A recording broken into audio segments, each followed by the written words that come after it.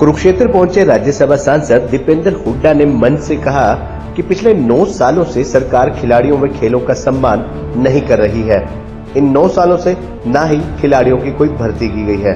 कुरुक्षेत्र के गाँव किरमच में आयोजित सर्कल कबड्डी प्रतियोगिता में मुख्य अतिथि के तौर पर पहुँचे राज्यसभा सांसद दीपेंद्र हुड्डा व उनके साथ पूर्व मंत्री अशोक अरोड़ा व लाडवा के विधायक मेवा सिंह भी कांग्रेस कार्यकर्ताओं के साथ मौजूद रहे। सर्कल कबड्डी में मुख्य अतिथि के तौर पर पहुँचे राज्यसभा सांसद दीपेंद्र हुड्डा ने 11 लाख रुपए देने का मंच से ऐलान किया। इस दौरान महिला खिलाड़ियों पर बोलते हुए सांसद दीपेंद्र हुड्डा ने कहा, इज़्ज़त की लड़ाई लड़ने के लिए दिल्ली की सड़कों पर खिलाड़ियों को बैठना पड़ा और पुलिस द्वारा घसीटा गया। सरकार को बेटियों की इज़्ज़त व मेडल से कोई प्यार नहीं है। बेटी बचाओ, बेटी पढ़ाओ नारे को राज्यसभा सांसद दीपेंद्र हुड्डा ने बताया, मंत्री संदीप सिंह व सांसद ब्रिजभूषण को बचाओ नारा।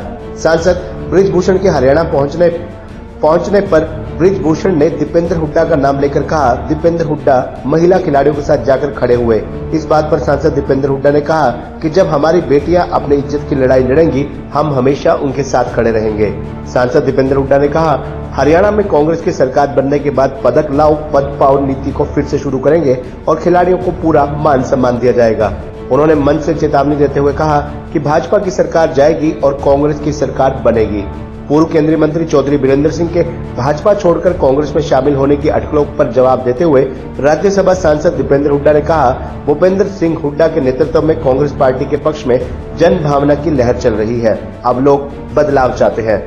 मुख्यमंत्री मनोहर लाल खट्टर पर हल्ला बोलते हुए सांसद दीपेंद्र हुड्डा ने कहा कि खट्टर सरकार ने हरियाणा का बहुत नुकसान किया है। हरियाणा को विकास की पटरी से उतरने वाली महँगाई और बेरोजगारी में धकेलने वाली भाजपा सरकार ही है वहीं सांसद सुनीता दुग्गल ने कांग्रेस पार्टी पर तंज कसते हुए कहा था कि कांग्रेस पार्टी प्रदेश अध्यक्ष अनुसूचित जाति के सिर्फ़ नाम मात्र के लिए रखते हैं और मौजूदा प्रदेश अध्यक्ष के पार्टी में नहीं चलती इस सवाल पर दीपेंद्र हुड्डा चुप्पी साधते हुए नज़र आए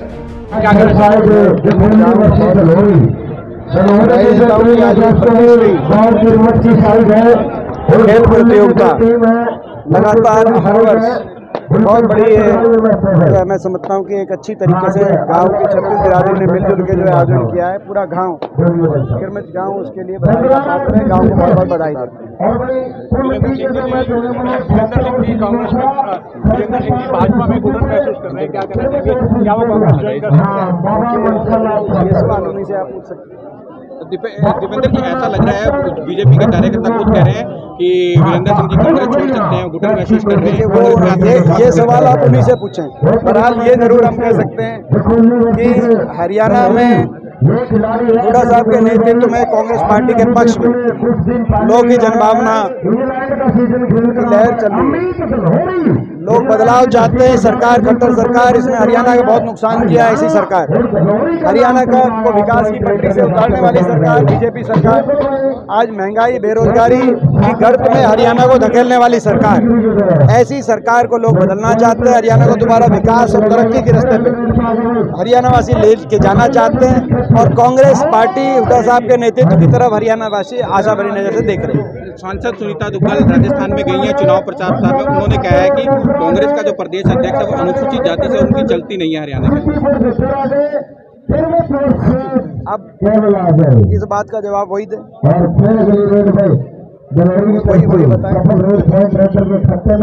थैंक यू सरकार आ रही है हरियाणा के अंदर पिछले नौ साल से, जिसने खिलाड़ियों का और खेलों का जो सम्मान करना चाहिए, वो सम्मान नहीं किया, बल्कि अपमान करने का काम किया। आज कोई राजनीतिक कार्यक्रम नहीं है, इसलिए राजनीतिक बात तो नहीं, लेकिन खेलों के बात बारे में इतना हम ज़रूर कहना चाहते हैं, विपक्ष के नाते। क्या कारण है? साढ़े नौ साल हो गए, खिलाड़ियों की भर्ती रुकी हुई है, ना भर्ती करी। जो पदक लाओ पद पाओ की नीति पे हरियाणा चला था, जिसमें हरियाणा खिलाड़ियों का सम्मान हुआ था पूरे विश्व पटल पे। हिंदुस्तान का गौरव बढ़ाने का काम हमारे खिलाड़ियों ने किया था। क्यों खट्टर सरकार ने आते हुए बंद कर दी नीति? आज ये सर्कल कबड्डी के जितने खिलाड़ी आगे हम देख रहे हैं जो हमारी सरकार भी सर्कल कबड्डी के खिलाड़ियों को सीधा हरियाणा सरकार में नियुक्ति देने का काम हुआ था। खट्टर सरकार ने बंद कर दिया।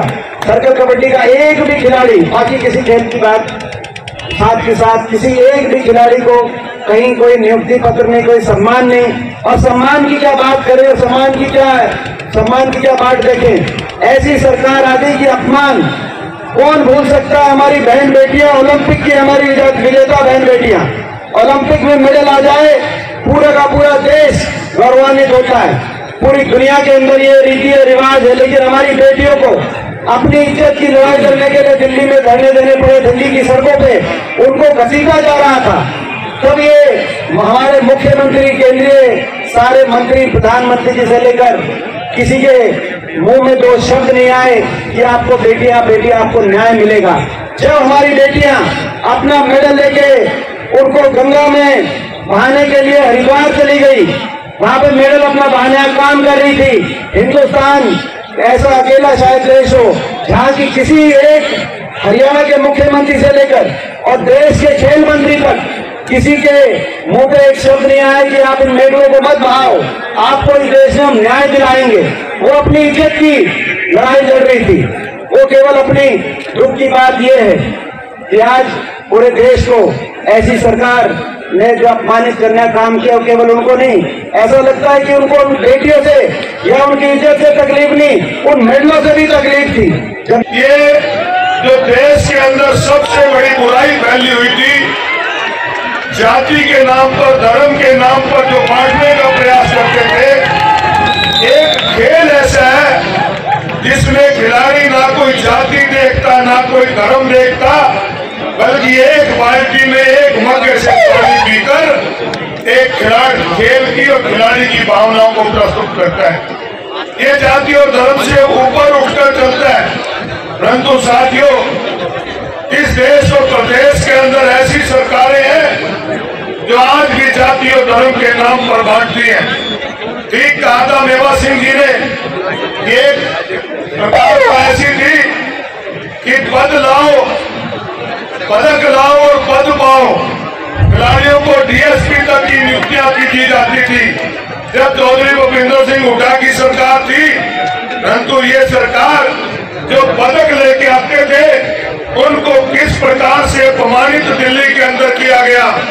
किस प्रकार से हरियाणा प्रदेश का खेल मंत्री एक कोच के साथ किस प्रकार से उससे छेड़खानी करते हैं? और हरियाणा प्रदेश का घमंड से भरा हुआ कहते हैं कि हम इसका इस्तीफा नहीं लेंगे। साथियों, किस प्रकार की सरकार आज अहंकार से भरी सरकार इस देश और प्रदेश के अंदर चल रही है? आज ज़रूर इस बात की है कि फिर से वही सरकार लाए जो खिलाड़ियों को पद लाने पदक आपका पदक लाने पर पद दिया करती थी।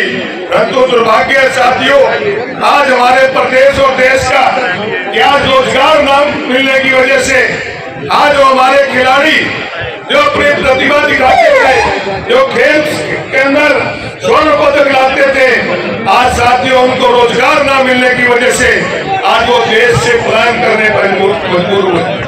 आज सरकार की गलत नीतियों की वजह से नशे की तरफ़ चले।